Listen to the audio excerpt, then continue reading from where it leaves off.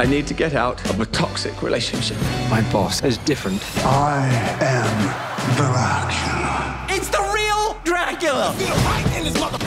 I'm coming, Master! He goes on a blood-sucking bender, and then it's up to me to clean up the mess. Is it yummy? Yes. Hi, are you here for the meeting? That's Renfield's boss. Okay, obviously we're dealing with more than just narcissism here. Renfield. Let's eat.